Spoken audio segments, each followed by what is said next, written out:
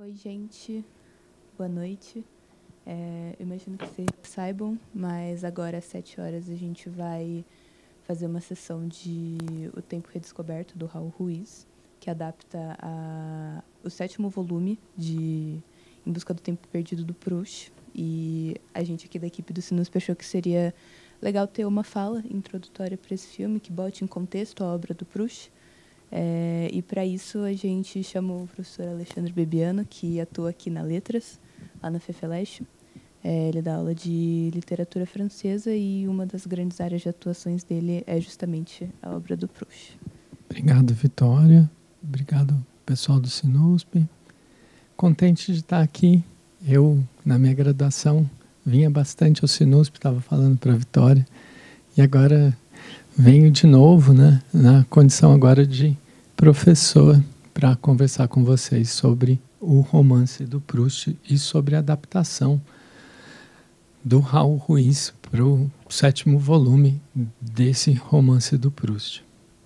Fico bem contente de estar aqui, de comentar esse filme que é corajoso, vamos dizer assim, bem corajoso por adaptar essa obra literária que é tão famosa, que é tão importante para o século XX. Como a Vitória já lembrou, o romance do Proust, Em Busca do Tempo Perdido, ou na tradução mais recente, A Procura do Tempo Perdido, se vocês forem pegar a tradução da Companhia das Letras, ele é um, um desses romances que marcam o século XX de certa forma, ele é considerado o auge das experiências formais que a gente vai conhecer no gênero romanesco. Um desses romances que consolida ou coroa a tradição do romance realista que vem de Balzac, Stendhal, Flaubert e, de certa forma, prefigura os tempos de hoje com as suas brincadeiras, com seus jogos com o romance.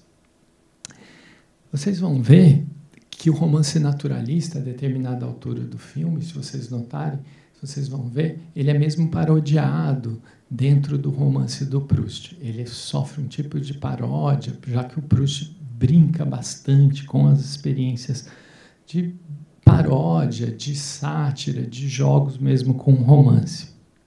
Então, mas antes de começar já a abordar o romance e o filme do Raul Ruiz, adaptação do Raul Ruiz, eu queria explicar para vocês, dar aqui de início, qual é a proposta aqui dessa intervenção, dessa curta intervenção que eu fui chamado para fazer aqui. O filme do Raul Ruiz, como lembrou a Vitória, é uma adaptação bem livre, bem livre mesmo, do último volume do romance. Isso quer dizer que o diretor adaptou para o cinema uma parte só do romance, mas precisamente a parte conclusiva. Isso coloca alguns problemas para a adaptação do Raul Ruiz. Como adaptar para o cinema a história do tempo redescoberto sem fazer referências aos volumes anteriores, as histórias mesmo do romance que vieram antes? Como o filme do Raul Ruiz lida, então, a contornar essas dificuldades.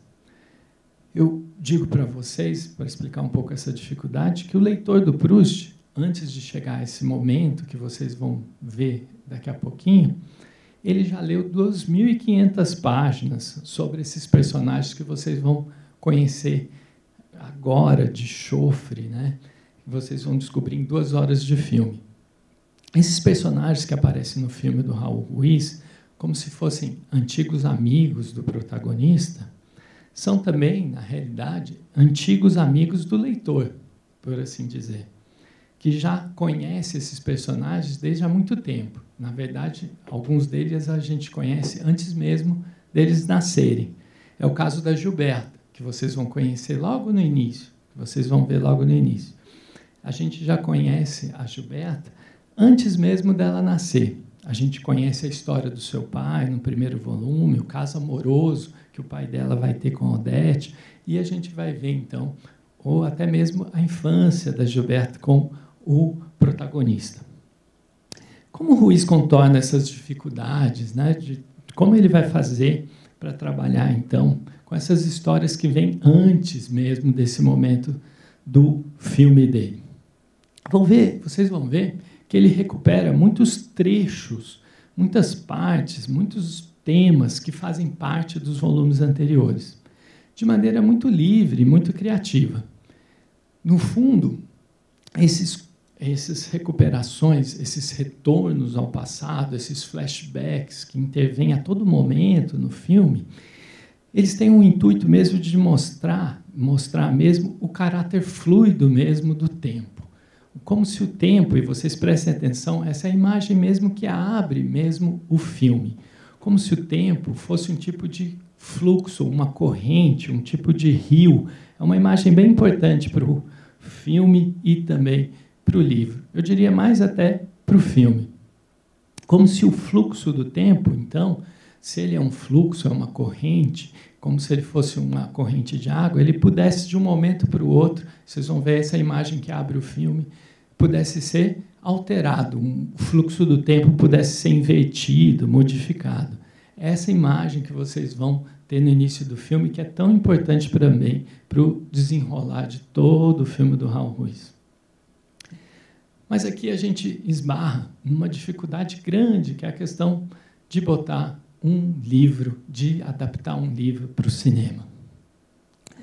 Como é que é a, a, adaptação, e esse é o ideal, a gente não vai discutir aqui o que é um adaptar um livro para o cinema, mas a gente tem sempre em mente que uma adaptação ideal de um filme, uma adaptação de um livro para o cinema, ela teria que ter um caráter independente, autônomo em relação ao livro de certa forma, a gente imagina que não seria necessário ler o romance para compreender o filme. Né?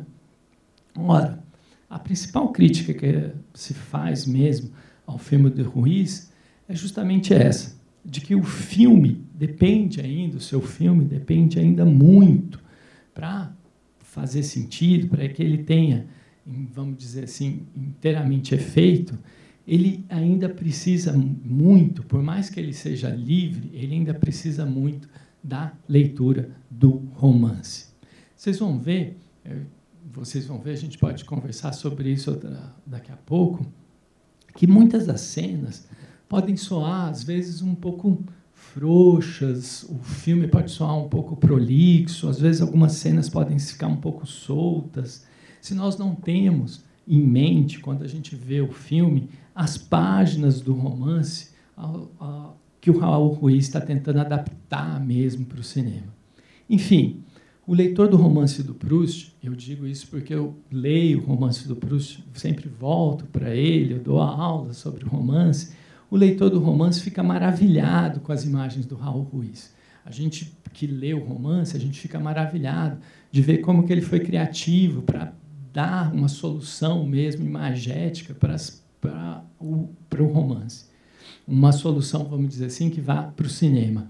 A gente fica maravilhado com as imagens, o jogo de cena, tudo isso que foi criado pelo Raul Ruiz. Os atores bem escolhidos, os diálogos bem elaborados, os cenários, e mesmo, se vocês quiserem saber, a adaptação da história, a gente vai conversar um pouquinho sobre isso, a construção dos personagens para o cinema, tudo isso funciona bem para aquele que, aquele que já conhece o romance.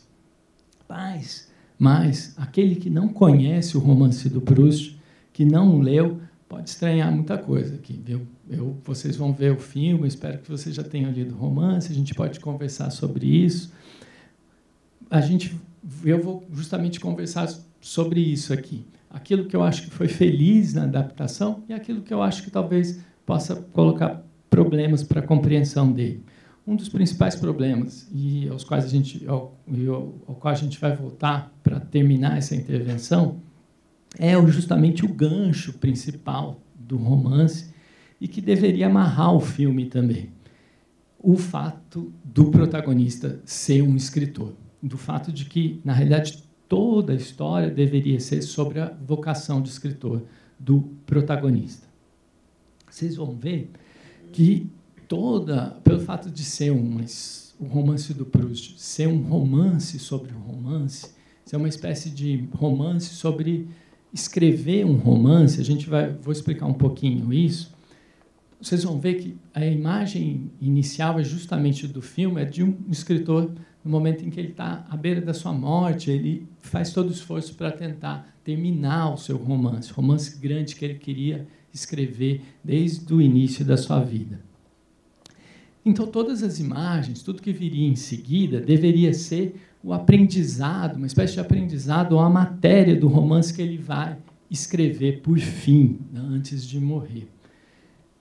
Vocês, se vocês lerem um romance do Proust, vocês vão ver que o, todo o romance é uma espécie de aprendizado, uma, um passo que o herói vai fazendo, são vários passos que o herói vai fazendo, que o protagonista vai fazendo, para aprender, enfim, a escrever o romance, por fim, lá no final, o romance que é o próprio romance que a gente está lendo.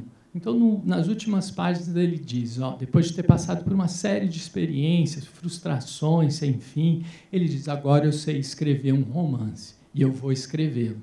E é justamente o romance que a gente vai, vai terminar de ler, que a gente acabou de ler. Vocês vão ver que eu não fico bem convencido com essa amarração no, no filme do Ruiz. Como essa amarração não funciona, de certa forma, tão bem no filme do Ruiz. A gente vai voltar sobre essa questão, principalmente porque se trata de um problema de, de mesmo de como que funciona o procedimento do, da literatura no cinema. O romance do Proust, a todo momento, ele questiona o que, que é fazer arte. Do cinema do Raul Ruiz, isso talvez não apareça com tanta força. A gente vai voltar, eu espero voltar a isso e tornar isso um pouquinho mais claro no final. O filme, eu acho, se a gente deixa de lado essa questão do gancho, do, da vocação do protagonista, ele tem vários pontos fortes. A gente, eu queria insistir sobre esses pontos com vocês agora. Um desses pontos fortes é a mise-en-scène, o jogo de atores, cenário, cenários, diálogos. Eu sei que pode parecer estranho, vocês vão ver o filme, vai parecer bem estranho para o público de hoje, as poses, o tédio, o luxo e mesmo toda a sociabilidade a que se entrega os personagens do Proust. Eles são rentistas, nobres, que vivem completamente longe da esfera do trabalho. Dá a impressão esquisita para a gente hoje de seres de outro mundo, de outro mundo, seres que não pensam em dinheiro, em trabalhar, vocês vão ver, mas só tomar chá, ouvir sonatas de, sonatas de Beethoven e cultivar as suas fantasias. É, esse é o universo do, dos personagens do Proust. Um universo bem estranho para nós, pelo menos para mim, que tem que trabalhar, não vivo sem a pressão do dinheiro, tem que pagar as contas. Mas esse mundo longe do trabalho é o universo das personagens do Proust. Esse mundo responde a uma pergunta que às vezes a gente deveria fazer a si mesmo. O que, que a gente faria da nossa vida se a gente tivesse dinheiro? O que, que a gente faria se a gente pudesse viver sem o constrangimento do trabalho? É essa pergunta que os personagens prustianos tentam responder. Se a gente pudesse viver a utopia de ser livre, como a gente, o que, que a gente faria da nossa vida? Como a gente viveria? Essa é a, um dos, é a resposta. Vocês vão ver que cada um dos personagens dá uma resposta a esse tipo de pergunta. E essa resposta é o, vai aparecer no, no romance e aparece no filme do Raul Ruiz, e na realidade é um dos pontos fortes do filme do Raul Ruiz. Vocês vão ver que, assim como acontece no romance, as personagens que são ricas, estão longe do trabalho, elas não estão felizes, elas não se entregam a uma felicidade. Fala, assim, poxa, está longe do trabalho, vão ser felizes. Mas não. Elas antes se entregam a uma série de caprichos, fantasias, desejos, que fazem delas mesmo, fazem dessas personagens, seres obcecados ou cheios de fantasmas. Vocês vão ver que esses personagens estão sempre procurando algo assim que lhes falta. Como se eles vivessem uma. Vocês se lembram da quadrilha do Drummond? João amava Maria, João amava Teresa, que amava Lili, que amava não sei quem, e no final que não amava ninguém. Você lembra? É quase uma quadrilha mesmo, onde todo mundo espera uma resposta do outro e no final essa resposta não vem. A gente tem assim uma espécie de, vocês vão ver quase a, a eu diria uma segunda parte do, do filme, se a primeira for considerada a cena de introdução, Essa segunda parte a gente tem um carrossel de mentiras, desentendimentos, confusões, onde nada é o que parece ser à primeira vista. E os seres humanos, vocês vão ver, vão se revelar mesmo pessoas com lados contraditórios, pessoas que guardam mesmo segredos, camadas diferentes, às vezes de si consigo mesmo. A capacidade do cinema do Ruiz de mostrar isso, esses desentendimentos entre os personagens, essas confusões, com cenas fortes e muito boas, é uma virtude do filme. É muito bom. Vocês vão ver Saint-Loup, Charlus, Odette, Gilberta, Morel, são personagens fortes do romance e eles estão bem caracterizados no filme. A gente vê a espessura desses personagens. Uma construção tão cuidadosa do romance, que leva tanto tempo para o Proust fazer, aparece também, então, no filme. Vocês vão ter que ver, eu ia fazer uma caracterização assim, de cada um dos personagens, mas eu vou deixar para vocês, mas vocês já olhem isso, como cada um dos personagens tem uma espécie de fantasia estranha, por exemplo, a Gilberta aparece desde o início como alguém apaixonada, que acredita no amor do São Lu, de São Lu, procura por ele por todos os lados, né? No final ela se frustra com São Lu, mas nem por isso ela deixa de ser, ela não é uma mulher fraca, vocês vão ver que ela no momento da guerra ela preserva a memória do pai, do castelo. O São Lu faz crer a todo mundo, ela a Gilberta se frustra porque acredita que o São Lu é apaixonado por uma atriz, que é a Rachel, a Raquel, mas o São Lu, na realidade, engana a todos, dizendo que ama a Raquel, mas na realidade ele é apaixonado pelo Morel. Vocês vão ver todos os desencontros entre os personagens aí. Vocês vão ver o Morel, que é um grande virtuoso do, violon, do violonino, ele é um tocador de violino exemplar, mas que, no fundo, é, seduz a todos com a sua música, com o seu charme, mas que no fundo se mostra um sujeito que tem uma fraqueza de caráter tremenda e que no final não consegue nem se apresentar mais em público. Vocês vão ver que ele tem medo até dos seus melhores amigos. Por exemplo, o Charles, a determinado momento, ele diz: O Charles é um ser muito bom para mim. E ele se assusta. E o Charles é justamente esse que é apaixonado pelo Morel, que faz tudo pelo Morel, um grande nobre, rico, muito rico, mas que na frustração do amor pelo Morel ele se entrega, se satisfaz num bordel masculino. Vocês vão ver todos os desencontros entre os personagens que são fortes, são muito fortes e que aparecem aí. Eu, só para dar insistir ainda num que eu acho que talvez seja um dos mais fortes, é, que pode passar desapercebido para vocês que talvez não tenham lido o romance, eu ia lembrar que um dos pontos do tempo redescoberto é a, o clima da guerra, o clima da guerra em Paris, da Primeira Guerra Mundial em Paris. Vocês vão ver que há um clima de caça às bruxas, mais ou menos como acontece num período de o que a gente chama hoje de polarização forte, em que há uma divergência forte na opinião pública e o clima de nacionalismo é exacerbado. Vocês vão ver, então, que há no, na esfera pública, vocês vão ver no filme cartazes dizendo assim: denuncie os espiões, há espiões alemães por toda parte na sociedade francesa. Vocês vão ver, numa conversa que o Charles tem com o protagonista, o Charles esclarece bem esse ponto. Ele diz: para os jornais nacionalistas franceses, espiões são os nobres, aqueles ricos, são os judeus e são os homossexuais, os gays, os homossexuais. Ele diz claramente isso. Ele fala, oh, são esses que são perseguidos nesse momento de nacionalismo exacerbado. Vocês vão ver, no encadeamento dos eventos lá, que o Sanlu sempre tem medo de adotar uma, uma posição que seria de homossexualidade ou revelar sua homossexualidade. Mas vocês vão ver que ele sendo nobre, ou mesmo o amor dele, de, o amor dele pelos outros homens, não vai impedir que ele se mostre um herói de guerra da França. Vocês vão ver que ele morre mesmo, sem medo mesmo de morrer, ele luta para salvar os soldados dele no fronte de batalha. Vocês vão ver que esse é um dos pontos fortes do filme, essa construção dos personagens que, que tem camadas contraditórias, faz parte do filme e desmancha muitos preconceitos que a gente poderia ter.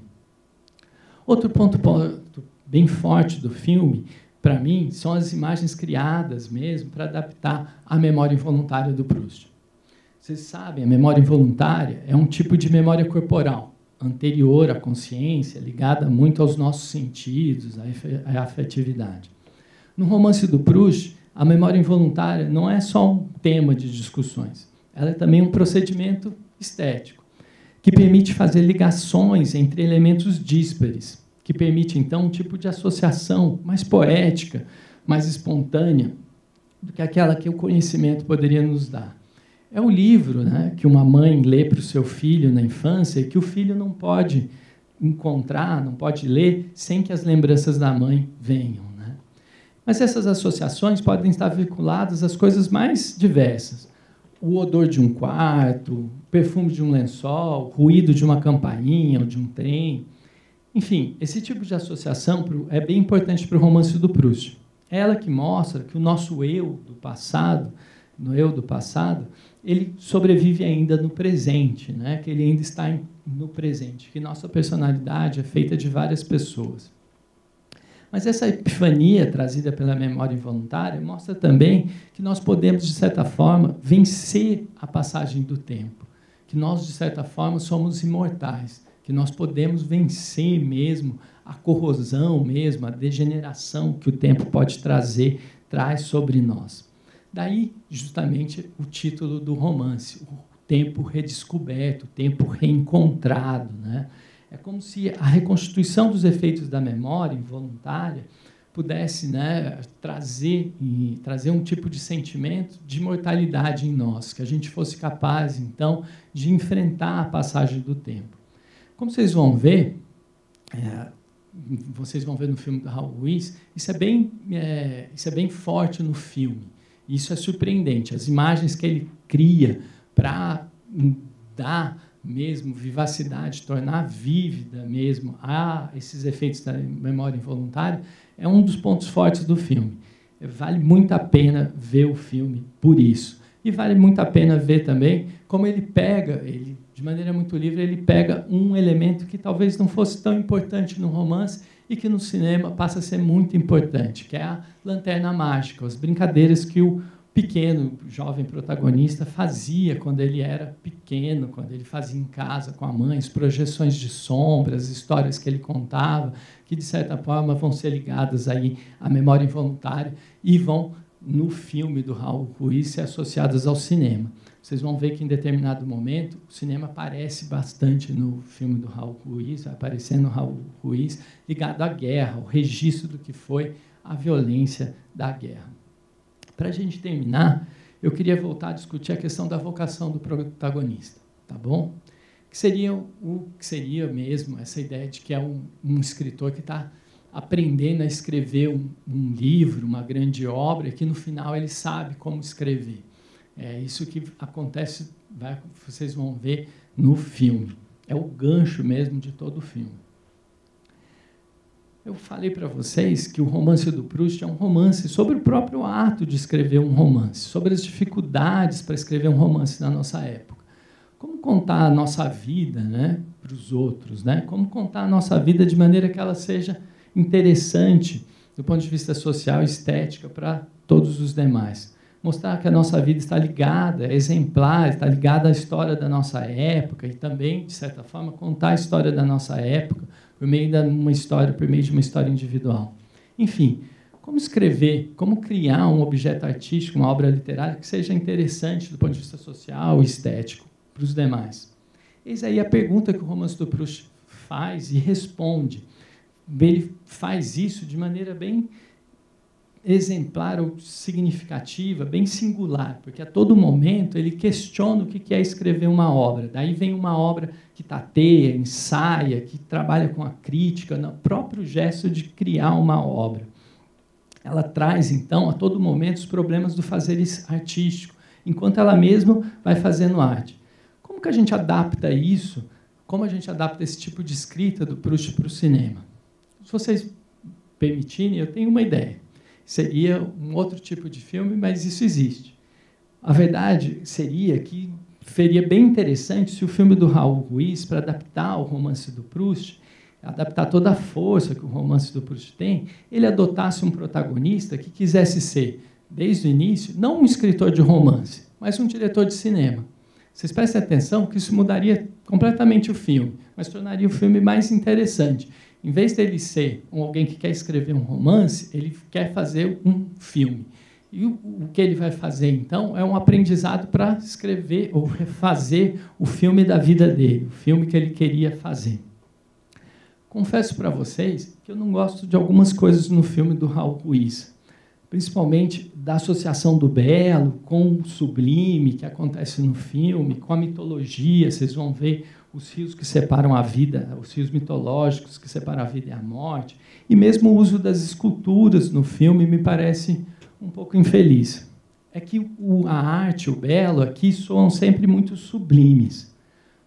O cinema, o cinema próprio do Raul Ruiz parece trabalhar antes com um material bem diferente, que é atores, diálogos, é, decorações, construção de cenas, iluminação, planos de câmera, corte, fotografia. Por que não trazer as dificuldades para fazer um filme para o primeiro plano? Por que não trazer para o primeiro plano o que é fazer um filme hoje? Eu tenho certeza de que o filme mostraria, então, um tipo de belo mais moderno, mais próximo de, de nós, e ele não seria tão sublime como soa no filme do Raul Ruiz, mas teria até um aspecto cômico. Mas veja, vejo que isso mudaria completamente a proposta do filme do Raul Ruiz. E vocês teriam um outro filme. Vocês notarem um filme sobre o filme, é o filme do Oito e Meio do Fellini. Não sei se vocês já tiveram a chance de ver, mas é um filme mesmo que questiona mesmo o ato de fazer filme. O que é fazer filme hoje? Um filme sobre os próprios problemas do fazer artístico de filmes. Mas aí a gente já estaria longe mesmo, bem longe da letra do romance do Proust. Eu espero que vocês gostem do filme do Raul Ruiz. É um grande filme, é um filme bem corajoso, como eu disse para vocês. E eu desejo agora um bom filme para vocês. Era isso que eu tinha para comentar um pouquinho para vocês. Obrigado, viu, gente?